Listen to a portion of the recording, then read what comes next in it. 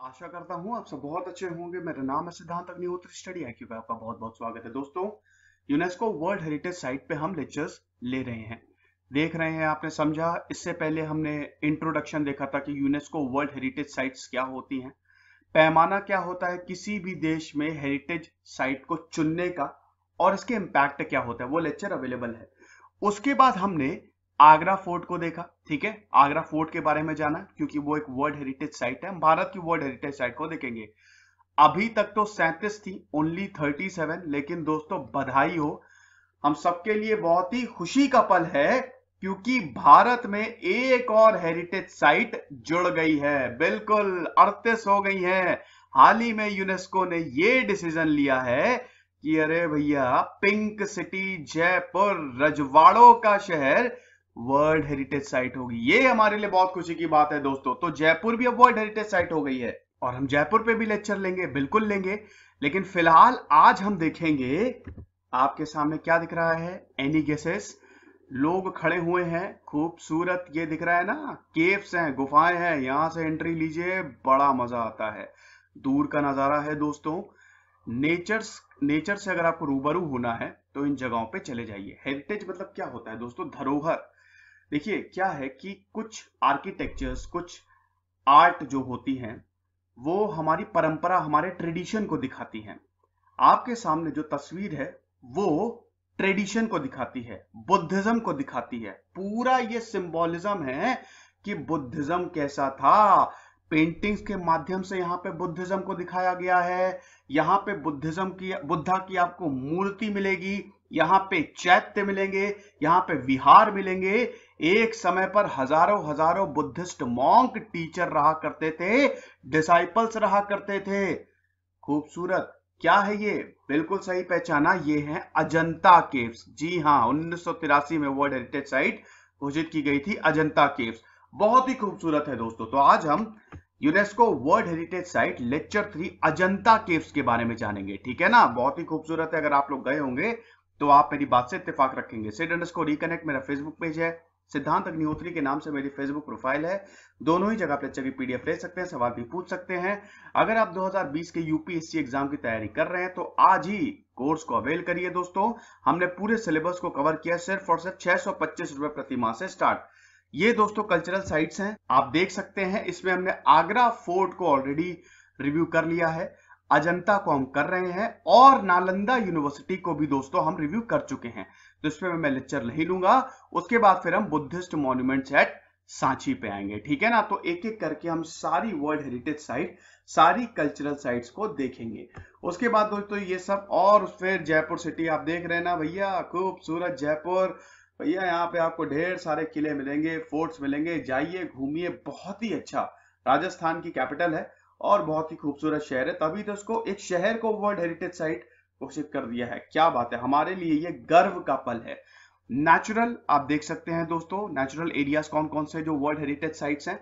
Great Himalaya national conservation park Kaziranga national park Keoladeo national park Manas Nanda Devi and valley of flowers Sundarbans western Ghats Khangchendzonga ये नाम बड़ा खतरनाक है, मुझसे कभी pronounce नहीं होता है। नेशनल पार्क 2016 ये मिक्स्ड है, ठीक है? तो इन सबको रिव्यू करेंगे। बहुत मज़ा आने वाला है दोस्तों। भैया आर्ट एंड कल्चर बड़ा बोरिंग लगता है। मन करता है बिल्कुल इसको स्किप कर दे, लेकिन हम है ना, बहुत ही अच्छे से पढ़ाएँगे। पूरे भारत दर्शन दर्शन आपको करा देंगे। पूरा भारत घुमा देंगे इसी में ही। तो चलिए दोस्तों, आगे बढ़ते हैं।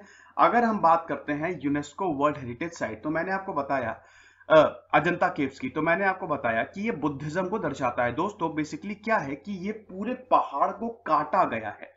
गुफाएँ बनाई गई हैं। यहाँ पे बुद्धिस्ट मॉन्क्स के रहने के लिए जगह बनाई गई है। वो पूजा कर सके, वो मेडिटेट कर सके और बुद्धिज्म को समझ सके।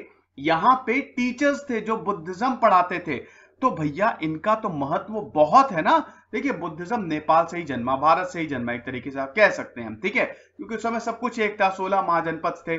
और हम अगर बुद्धिज्म की बात करें दोस्तों तो वैसे तो गौतम बुद्ध की मैंने सेपरेट बायोग्राफी रिव्यू की है दोस्तों। दो पार्ट में वो लेक्चर है, लाखों लाखों लोग उसे देख चुके हैं। आप देख लीजिएगा।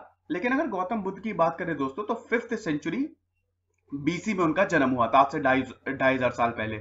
ऐसे ही माना जाता हालाँकि बर्थ डेट पे भी उनपे डाउट है। लेकिन मोटे मोटे तौर पर ढाई हज़ार साल पहले मान लेते हैं, ठीक है?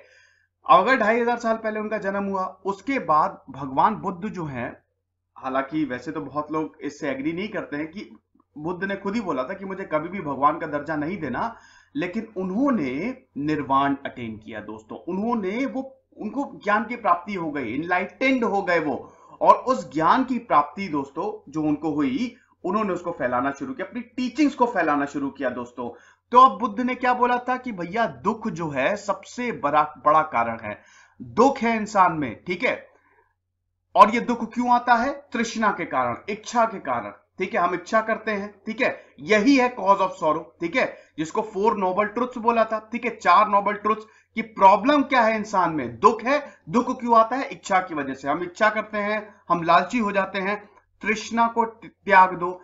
इस दुख से कैसे हटे हम? इसी तृष्णा को त्याग दो। निर्वाण अटेन कर लो। निर्वाण पूरी तरीके से एनलाइटेंड हो जाओ, सारी इंद्रियों को जगा लो। ये कैसे अटेंड करोगे?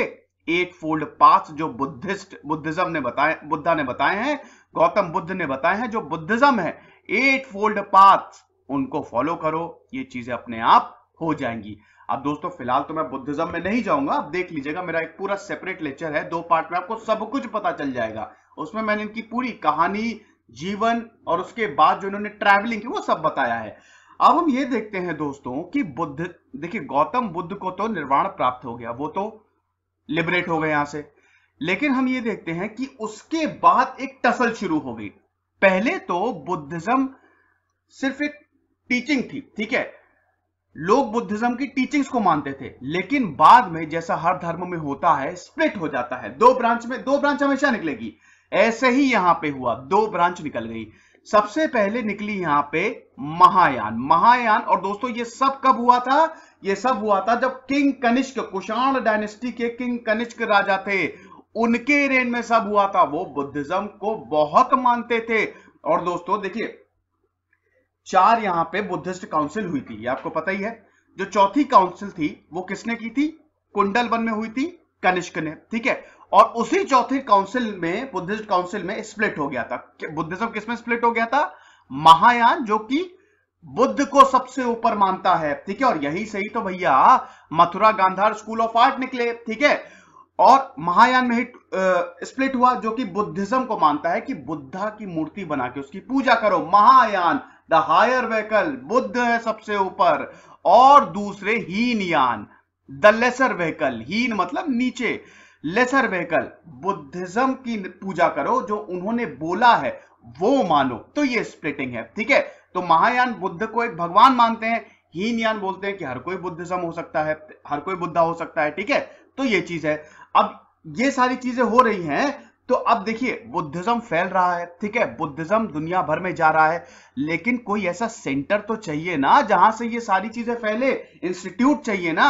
तो यहाँ पे ढेर सारे इंस्टीट्यूट बनना शुरू हुए और आप कह सकते हैं कि अजंता केफ भी एक तरीके का इंस्टीट्यूट था, जहाँ पे लोग जो है वो रहते थे, ठीक है? जहाँ पे बुद्धिस्ट मॉन्ग रहते थे, यहाँ पे पढ़ाई करते थे, ठीक? तो ये चीज़ है अभी हम आगे बताएँगे। बैकग्राउंड क्लियर हो गया हिस्ट्री क्लियर हो गई, बहुत बढ़िया।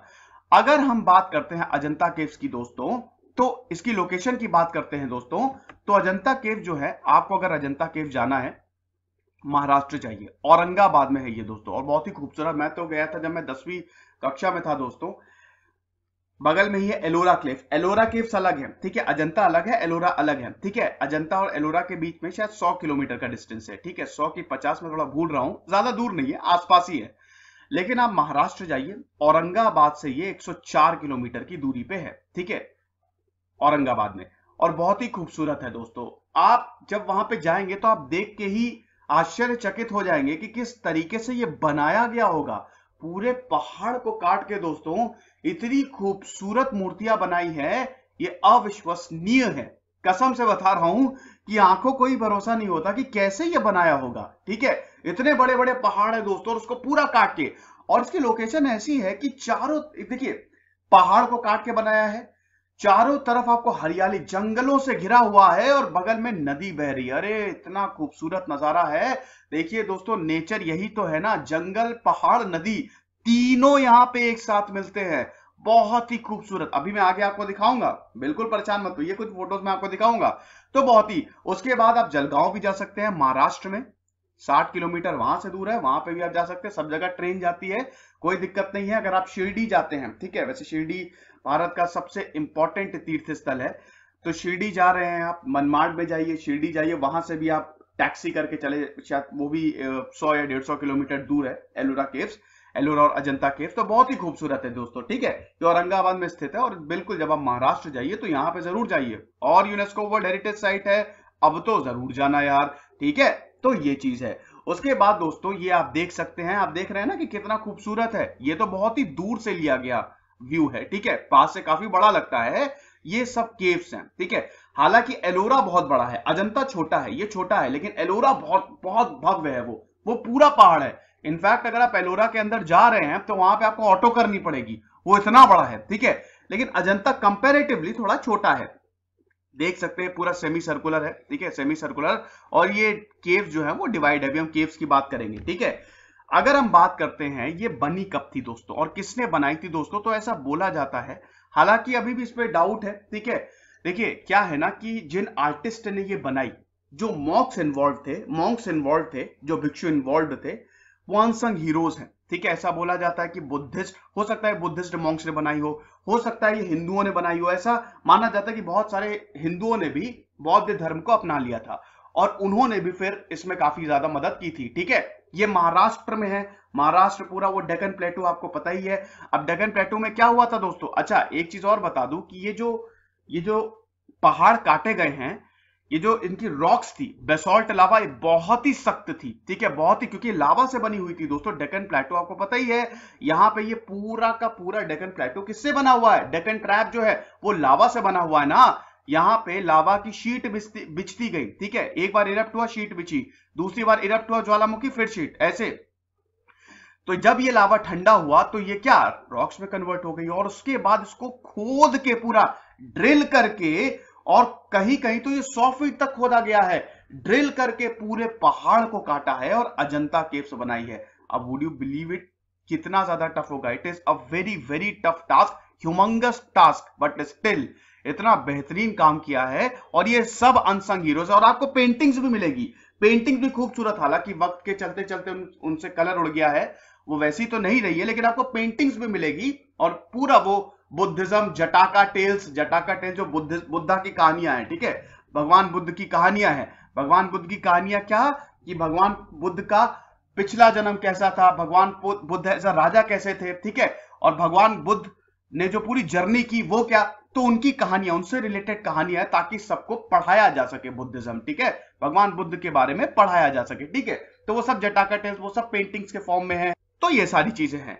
दोस्तों, दो फ़ेज़ में ये बनी, ठीक है? कुछ सबसे पहला जो फ़ेज़ शुरू हुआ था, वो सतवाहना डायनेस्टी हालाँकि जब इनिशियली जो फ़ेज़ था, तब तो बहुत पूरी तरीके से हम देखते हैं कि अजंता केव जो है, वो पूरी तरीके से कंप्लीट नहीं हुई थी, ठीक है? मैं आपको बताता हूँ, दोस्तों, जो cave number nine ten twelve thirteen और फिफ्टीन, ठीक है? नाइन तो सबसे पुरानी ओल्डेस्ट केव्स है, ठीक है? ये सौ बीसी से लेकर 100 एडी तक मतलब 200 साल में इसको कंप्लीट किया गया था और सत्ववाहना डायनेस्टी ऐसा माना जाता है। सत्ववाहना डायनेस्टी थी तब और इन्हीं के ही रेन में ये जो फ़र्स्ट फ़ेज़ है, वो शुरू हुआ था। दूसरा फ़ेज़ जो है, वो दोस्तों फिफ्थ सेंचुरी के अराउंड शुरू हुआ था, ठीक है? 460 से 480 और इसी सेकेंड फ़ेज़ में दोस्तों, उस समय आपको बता दूँ कि वाका टाका राजा हरिसेन थे। और इसी दौरान दोस्तों, बहुत सारी नई केव्स जोड़ी गई। सेकेंड फ़ेज़ में दोस्तों, एक से आठ केव्स ठीक है वन टू एट केव्स उसके बाद ग्यारहवीं केव्स और फोर्टीन और ट्वेंटी नाइन ठीक है। In fact nineteen twenty six twenty nine तो बिल्कुल नई केव्स हैं। तो ये सेकेंड फ़ेज़ में पूरा रेनोवेशन होता है, क्योंकि बुद्धिज्म दोस्तों, उस समय अपने पीक पे था। हम देखते हैं कि अशोक ने बुद्धिज्म को अपना लिया था, ठीक है। इवन गुप्ता ने भी बुद्धिज्म के प्रति बहुत ज़्यादा टॉलरेंट थे। कनिष्क आए थे कुशान डायनेस्टी आए थे, बहुत बहुत बहुत दूर दूर तक दूर दूर जगहों पे चला गया था। उसके बाद हम देखते हैं कि हर्षवर्धन, भैया, वो तो पूरी तरीके से बुद्धिज्म के डिवोटी हो गए थे कन्वर्ट नहीं हुए थे। हर्षवर्धन की सेपरेट बायोग्राफी ये देख लीजिएगा। तो हम ये देखते हैं कि बुद्धिज्म का उदय इतनी ज़बरदस्त तरीके से हुआ और भारत में ऐसे फैला कि फिर एक ऐसी जगह बनाना बहुत ज़्यादा ज़रूरी हो गया जो बुद्धिज्म को फैलाएँ। एक चीज़ और दोस्तों, ये जिस तरीके से बना हुआ है काफ़ी प्रोटेक्टेड है। मतलब देखिए, यहाँ पे हज़ारों हज़ारों मॉन्क्स रहते थे एक समय पे। अब बाहर की दुनिया में क्या हो रहा है? बाहर युद्ध चल रहा है, नहीं चल रहा, उनको इससे कोई मतलब नहीं था, ठीक है? वो अपनी पढ़ाई करते थे तो ये पूरा प्रोटेक्टेड है। अभी आपको बताता हूँ कि किस तरीके से इन केव्स की खोज हुई थी। 1819 में इन केव्स को खोजा गया था। वो भी बड़ी इंटरेस्टिंग कहानी है, ठीक है ना? ये चीज़ है।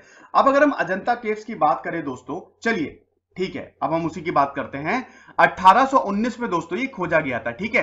ब्रिटिश ऑफिसर, आपको बता दूँ कि जॉन स्मिथ और अपनी कंपनी के साथ ऐसे शिकार पे गए थे, ठीक है? शिकार पे जंगल गए, महाराष्ट्र के जंगलों में वो घूम रहे थे। उन्होंने एक बाघ को देखा, ठीक है? अब जब उन्होंने बाघ को देखा तो उन्होंने शिकार करने की कोशिश की, लेकिन वो बाघ जो है, वो भाग गया और वो नीचे वैली थी, ठीक है? वहाँ पे चला गया। तो ब्रिटिश ऑफिसर उनका पीछे पीछे पीछा करते हुए गए बाघ का और बाघ एकदम से गायब हो गया डिसअपियर हो गया। तो बोले कि यार ये क्या बात है यार, ये बाघ कहाँ चला गया? होना तो यही चाहिए। और उसके बाद जब वो नीचे गए, भैया उन्होंने अजंता केव्स को खोज लिया। तब उन्होंने देखा कि यहाँ पे एक धार्मिक स्थल है, वैसे बता दू मतलब पूरे धर्म को दर्शाता है, बुद्धिज्म धर्म को दर्शाता है तो एक धार्मिक स्थल है। जब उन्होंने ये देखा, सीधा केव नंबर टेन पे वो गए तब उनको पता चला कि हमने इतिहास रच दिया है और हमने एक ऐसी चीज़ खोज ली है जो, जिसका इंपॉर्टेंस बहुत बड़ा है, ठीक है? और हालाँकि वहाँ के गाँव वाले पहले से ही जानते थे, खैर, वो तो जानेंगे ही जानेंगे, ठीक है? और वहीं पे ही एक गाँव है अजंता, उसी के ही नाम पे अजंता केव्स पड़ा, ठीक है ना? तो ये चीज़ है। अगर हम बात करते हैं दोस्तों अजंता केव्स की तो ये दो में डिवाइड है, ठीक है? सबसे पहले यहाँ पे चैत्य है। चैत्य क्या होते हैं दोस्तों? जहाँ पे पूजा की जाती है। और दूसरा विहार। हालाँकि अजंता केव्स में 80 परसेंट विहार है। विहार क्या? अरे, होटल।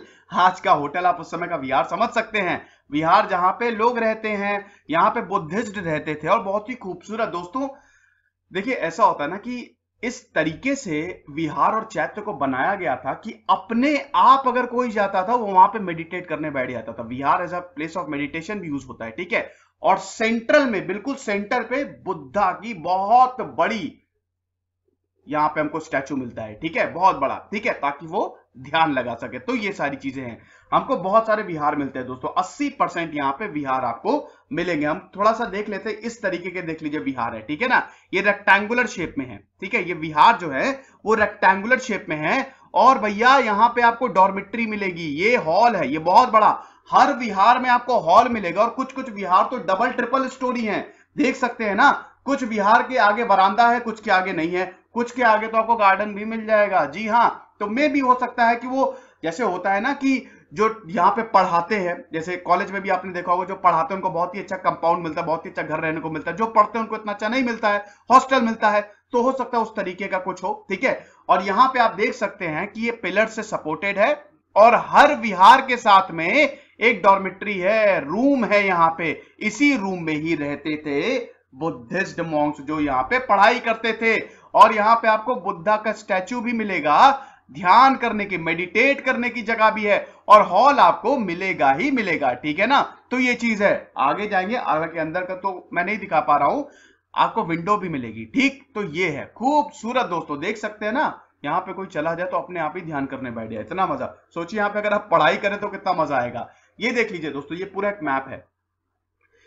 ये नदी है बागरा ठीक? उसके बाद ये देख सकते हैं आप, ठीक है? वन पहली केव सेकेंड थर्ड ये पूरी केव्स टोटल यहाँ पे 28 केव्स है और ये पूरी केव्स का एक विवरण दिया गया विकीपीडिया से खूबसूरत मैप है दोस्तों। ये पूरी केव्स का यहाँ पे विवरण जो है वो दिया गया है। हम देखते हैं कि सबसे इंपॉर्टेंट नौवीं, दसवीं दसवीं केव्स में ही जॉन स्मिथ आए थे। सबसे पहले यहीं पे उन्होंने पैर रखा था, ठीक है? नौवीं, दसवीं, उसके बाद बारहवीं, तेरहवीं और पंद्रहवीं फिफ्टीन ए केव्स के भी अंदर बहुत सारी केव्स है, गुफाएँ हैं, ठीक है? ये सबसे पुरानी केव्स है, और उसके बाद बाकी जो आप देख रहे हैं, वो नई केव्स हैं। इनका जो पूरा काम है, वो सेकेंड फ़ेज़ में हुआ, ठीक है ना? तो ये चीज़ है। समझ गए? चलिए आगे बढ़ता है। ये दोस्तों चैत्य है, चैत्य वर्शिप हॉल्स है। यहाँ पे पूजा होती है, ठीक है? और आप देख सकते हैं ना, ये ऊपर स्तूप है। स्तूप मतलब क्या? भैया, डोम शेप्ड ठीक है? और डोम शेप्ड होता है, और उसके अंदर चैत्य होता है मतलब नीचे चैत्य होता है, ठीक है? तो ये ऊपर इसके पूरा डोम है, ठीक है? उसको स्तूप कहते हैं, बहुत ही खूबसूरत। और यहाँ पे आप देख रहे हैं, स्तूप के अंदर होता है चैत्य जहाँ पे पूजा होती है। और सेंटर पे होगी भगवान बुद्ध की तस्वीर। और ये पिलर से सपोर्टेड और ये सेमी सर्कुलर है, ठीक है? परिक्रमा कर, ताकि परिक्रमा कर सके। दोस्तों, आपने देखा होगा कि हम जब मंदिर में जाते हैं तो हमारा जो मेन डाइटी है, ठीक है? वो तो सेंटर में रहता है। और साथ में ऐसे एक सर्कुलर पूरा दिया रहता है। पूरा घूमते घूमते जाइए और इन सर्कुलर मतलब ये जो आ, सर्कुलर पूरा शेप होता है यहाँ पे भी भगवान की मूर्ति लगी रहती है। तो आप इससे मंदिर की परिक्रमा कर सकते हैं। आपने देखा होगा हर मंदिर में ये होता है। ठीक है? एग्जैक्टली यहाँ पे भी था ये पूरा सर्कुलर था ताकि यहाँ पे भी परिक्रमा हो सके। और लाखों लाखों यहाँ पे बुद्धिस्ट रहते थे। लेकिन फिर दोस्तों सिक्स सेवेंथ सेंचुरी आते आते जब यहाँ पे लगा कि प्रॉब्लम हो रही है और वॉर जो है वो चल रहे हैं इनस्टेबिलिटी है सिविल वॉर शुरू हो गए हैं तब एक एक करके मॉन्क्स ने इसको छोड़ दिया, इन सारी जगहों को छोड़ दिया। केव से वो चले गए, ठीक है? तो एक समय पे यहाँ पे बहुत सारे लोग रहते थे, बहुत सारे बुद्धिस्ट मॉन्क्स रहते थे, ठीक है? अब आप ये देख सकते हैं, वाका टाकाज ने ये पूरा जो सेकेंड फ़ेज़ है उसको एक तरीके से बनवाया। आप देख सकते ना कि यहाँ पे ट्रेड भी बहुत अच्छे से होता है। जो ट्रेड रूट है, एक वो भी नॉर्थ साउथ को ये जो सेंटर है, ये जो अजंता केव्स है, ये जोड़ता है। तो ये भी एक बहुत ही इंपॉर्टेंट रीजन था जनता के बनवाने का, और उस समय गुप्ता एम्पायर तो चल ही रहा था, ये आपको पता ही है, गुप्ता एम्पायर पे भी मैंने एक पूरी, पूरा एक लेक्चर लिया, वो आप देख सकते हैं। ठीक है? क्लियर मज़ा आ रहा है? बहुत बढ़िया। वैसे आपको बता दू कि जो बुद्धा का स्टैचू है, वो धम्म चक्र परिवर्तना के उसमें है। मतलब ऐसा वो, ऐसा मतलब वो स्टैचू को दर्शाया गया जैसे वो पढ़ा रहे हैं। आपको पता ही ना, बुद्धिज्म की लाइफ के, बुद्ध के लाइफ के चार फ़ेज़ है। ठीक है? कौन कौन से भैया? फटाक से बता दो, कुछ याद आ रहा है ना? निर्वाण, कुछ करके याद आ रहा है? धर्म चक्र परिवर्तन, चलो कमेंट बॉक्स में बताओ, ठीक है? तो ये चीज़ है। तो अजंता केव बहुत ही इंपॉर्टेंट है, खूबसूरत है और बहुत ही सुंदर है। ज़रूर जाइए भैया, हम तो यही बोलेंगे कि बिल्कुल घूम के आइए, बहुत मज़ा आएगी। और अरे अच्छा हाँ एक चीज़ और ही बताना भूल गया। पेंटिंग्स भी आपको ढेर सारी मिलेगी यहाँ पे। यहाँ पे आपको बुद्धिस्ट पेंटिंग्स मिलेंगी, ठीक है ना? फ्रेस्को पेंटिंग्स और इस तरीके से उसको बनाया गया है। लेयर्स पे लेयर्स चढ़ाई गई हैं ताकि ये वक्त के साथ साथ खराब ना हो जाए। हालाँकि ऐसा नहीं हुआ दोस्तों 1200 साल पुरानी पेंटिंग्स है दोस्तों, खराब तो होनी है धीमे धीमे उसका रंग भी उड़ गया, लेकिन अभी भी बहुत सारी पेंटिंग्स इंटैक्ट है। तो ज़रूर देखिएगा दोस्तों, भैया वर्ल्ड हेरिटेज साइट है, भारत में है कुछ नसीबी ये है। मज़ा ही बहुत बढ़िया। अब अगले पार्ट में हम स्टूप को जानेंगे, ठीक है? आई होप ये लेक्चर आपको पसंद आया होगा। खुश रहिए, पढ़ते रहिए। दिस सिद्धांत अग्निहोत्री साइनिंग ऑफ़ आशा कर